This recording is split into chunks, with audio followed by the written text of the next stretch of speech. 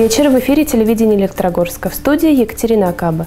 О главных событиях к этому часу в нашем информационном выпуске. Смотрите сегодня. Лицеисты приняли участие в ежегодном зональном этапе областного слета отрядов юных друзей полиции. Денис Семенов проверил работу городского рынка. На территории детского сада 41 «Гнездышко» прошел зональный семинар педагогов дошкольного образования. Очередная победа электрогорских спортсменов – Наши ребята стали призерами в соревнованиях по греко-римской борьбе и тяжелой атлетике. А теперь подробнее. Ежегодный зональный этап областного слета отрядов юных друзей полиции проводится с важной и актуальной на сегодняшний день целью – профилактика безнадзорности, правонарушений и преступлений среди подростков. Подробности смотрите далее. Ежегодный зональный этап областного слета отрядов юных друзей полиции проводится с важной и актуальной на сегодняшний день целью – профилактика безнадзорности, правонарушений и преступлений среди подростков. Отряд!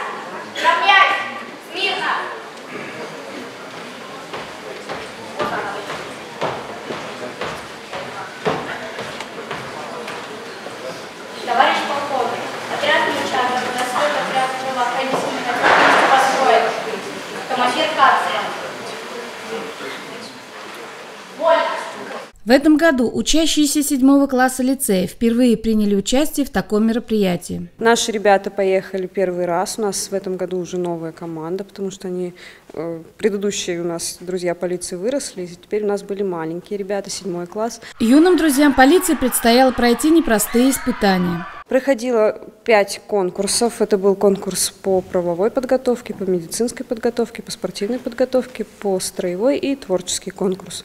Ну и мы получили первое место за творческий конкурс. Конечно, нашим ребятам было нелегко соревноваться с опытными командами, но несмотря на это, они достойно выступили на первом своем слете.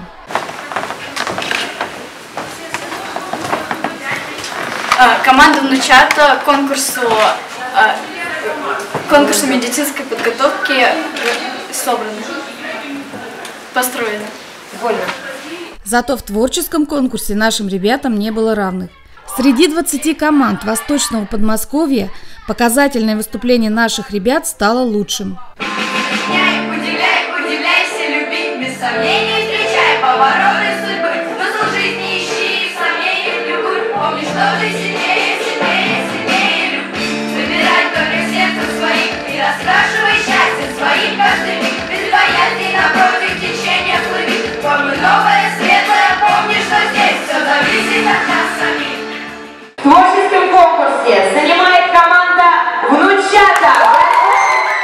мнению организаторов конкурса, подобные мероприятия являются важным моментом в воспитании у молодежи гражданских ориентиров, чувства долга и патриотизма. На будущий год какие у вас перспективы, планы? Ну, они съездили, посмотрели, поняли, что это такое. Конечно, им очень понравилось, но они очень переживали. Поэтому теперь на следующий год они, по крайней мере, будут знать, будут стараться, сказали, будут готовиться очень хорошо. Денис Семенов проверил работу городского рынка, встретился с руководством, проверил территорию, пообщался с предпринимателями. Подробности в материале коллег. Не так давно произошла смена руководства на городском рынке, и в ходе визита глава проверил организацию работы, прошел по торговым павильонам, оценил качество уборки на территории рыночной площади. Руководителю рынка МУП «Порядок» Виктории Гусевой глава поручил решить вопрос с уборкой и подготовкой к зиме. Флаги должны висеть, и они должны висеть на регулярный, ну, регулярный характер иметь. То есть ну, не какие-то там праздники, мы их вешаем, там, снимаем, просто повесьте, чтобы они да, находились постоянно. Второе. Ваша парковка разделяет рынок парковку теплосеть. Вот этот участок теплосети получается от э, Емели до Горького 1А. То есть следите за порядком и чистотой. Сейчас подошел, посмотрел, там пакеты, бутылки летают, там, ну вот я подошел, посмотрел, есть. То есть чтобы дворник каждое утро проходил, и собирал этот мусор, который, в том числе парковка. По ограждению забора учитывайте, что в этом году, я думаю, наверное, вы уже не успеете, но на следующий год обязательно э, его, он, он должен быть все ограждение покрашено. Как и бетонное ограждение, так и это ограждение. То есть вы должны учитывать у себя в расходах эти затраты. Были сделаны некоторые замечания по содержанию торговых точек. Там поддон стоит. Тут все соберите, уберите, чтобы ну, здесь этого не было. У вас все-таки как-никак центр. Вот здесь вот это что такое у вас? Ну, Ларис, вот это, вот это вот все загорится, кто будет? Весь рынок будет гореть? Сейчас выполняется работа по строительству здания крытого сельскохозяйственного рынка. Ведется обустройство наружных сетей. Со всеми контролирующими службами на месте обсудили вопрос улучшения работы. Рынок востребован, людей много. В целом он организован удовлетворительно. Целью обмена опытом по воспитанию дошколят 18 октября в Электрогорске на территории детского сада 41 «Гнездышко» прошел зональный семинар педагогов дошкольного образования. В семинаре по передаче накопленного опыта в свете новых стандартов образования участвовали педагогические работники из Павловского посада, Орехова, Зуева, Ногинска, Электрогорска. Наша задача – донести до педагогов э, современную образовательную практику, показать им, каким образом необходимо строить образовательный процесс в свете новых требований, э, показать открытые мероприятия с детьми, э, немножечко рассказать э, теоретический материал, как это должно быть, для того, чтобы каждый из них в своей профессии, в своей профессиональной деятельности смог использовать эти навыки, эти умения, знания и выполнять те требования, которые предъявляются в современной России к нам, педагогам дошкольного образования. В соответствии с новыми стандартами образования на базе детского сада номер 41 создана и успешно существует стажировочная площадка по внедрению в практику новых форм, методов и приемов воспитания малышей. Начиная с октября 2017 года в нашем городе проходят курсы повышения квалификации для педагогов дошкольных образовательных организаций по реализации федерального государственного образовательного стандарта дошкольного образования педагогической практики.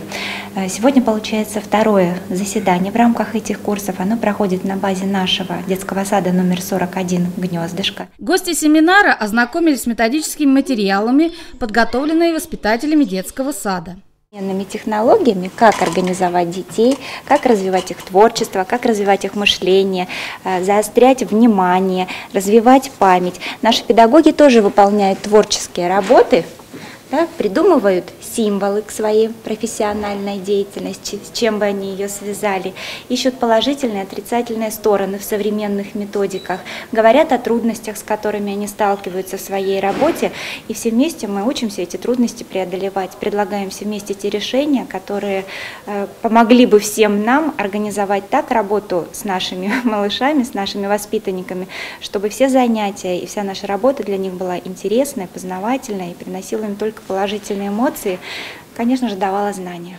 Педагоги посетили интересные практические занятия воспитателей с детьми.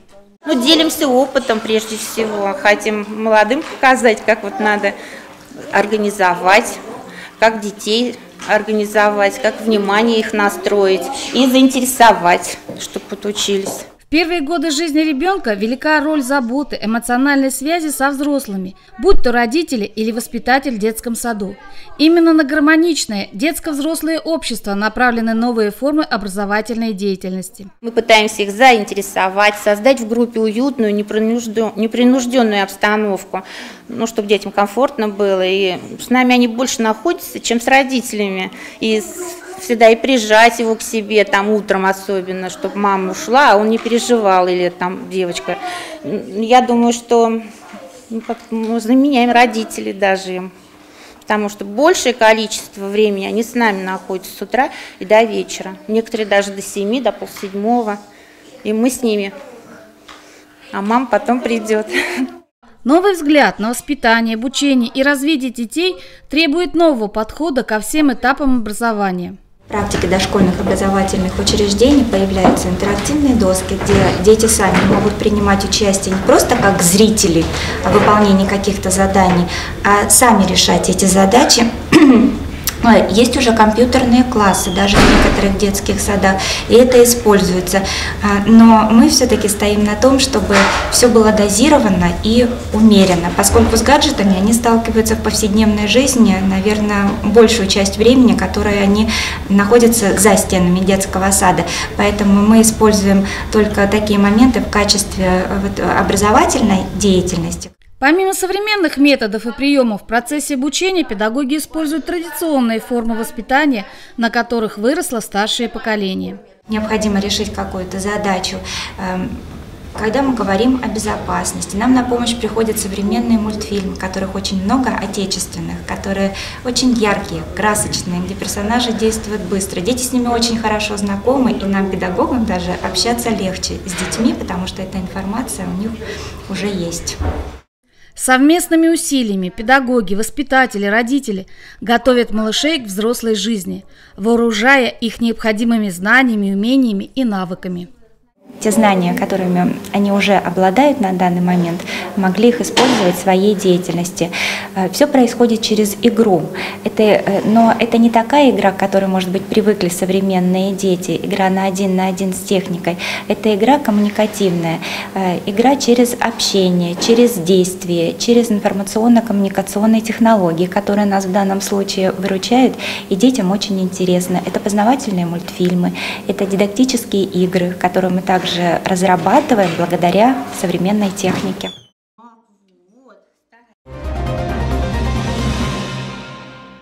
Электрогорские спортсмены стали призерами в соревнованиях по греко-римской борьбе и тяжелой атлетике.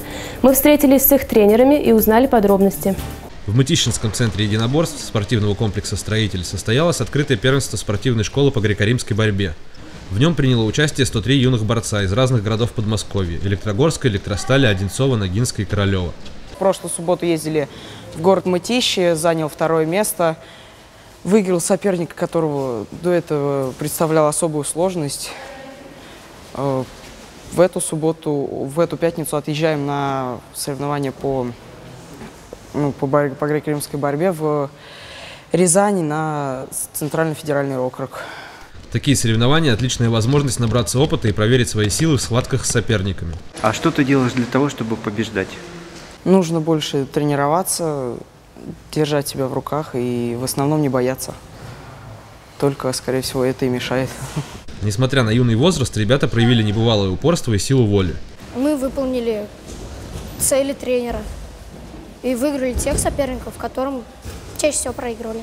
И пусть пока у ребят все получается, впереди у них еще немало славных побед над противником и над собой. К сожалению, сам я проиграл сильному сопернику. В следующий раз буду стараться выиграть. А что ты делаешь для того, чтобы выиграть, чтобы победить? Каждый день хожу на тренировки, э, э, стараюсь, ну, э, узнаю новые приемы. А тренировки не мешают занятиям в школе? Нет. Ребята из спортивного клуба «Ровесник» имени Владимира Костина 13 и 14 октября приняли участие в первенстве Московской области по тяжелой атлетике. Я принимала участие в городе Коломна в первенстве России Московской области. Я заняла второе место в категории 44 килограммов. В первенстве спортсмены показали отличные результаты и привезли в наш город третье общекомандное место. В соревнованиях участвовали более 16 команд разных городов. Я занял второе место в весовой категории до 62 килограмм. По итогам соревнований электрогорские спортсмены показали достойный результат в своих весовых категориях, а в командном зачете заняли почетное третье место. Тяжело быть победителем, потому что нужно стараться, напрягаться, поднимать веса больше, чем твои соперники. Кроме этого, Владимир Маякин и Анастасия Семенова выполнили нормативы кандидатов в мастера спорта. В студии была Екатерина Акаба. Желаю вам хорошего вечера. До встречи на канале ТВЛ.